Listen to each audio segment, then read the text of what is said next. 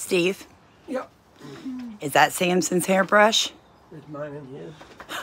Are you are you seriously using the Dogo's hairbrush? I mean, it does work good on the beard though, It dude. does. It feels really good too.